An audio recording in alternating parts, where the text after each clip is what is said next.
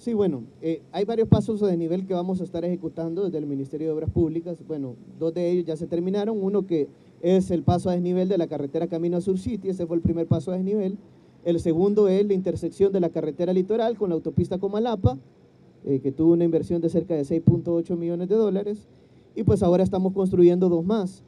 Uno que se, se está haciendo en el sector de Quelepe, en el municipio de Quelepe, en San Miguel, que ese tiene una inversión de cerca de 7 millones de dólares aproximadamente, solo el paso a desnivel. Ese proyecto es parte de toda la incorporación y, de, y, del proyecto de carretera del periférico Gerardo Barrios, porque va a dar un ingreso a una carretera de 17 kilómetros aproximadamente, y lo que va a ayudar a esta carretera, pues evitar pasar por la ciudad de San Miguel e irse directamente a través de este bypass hacia la Unión o viceversa.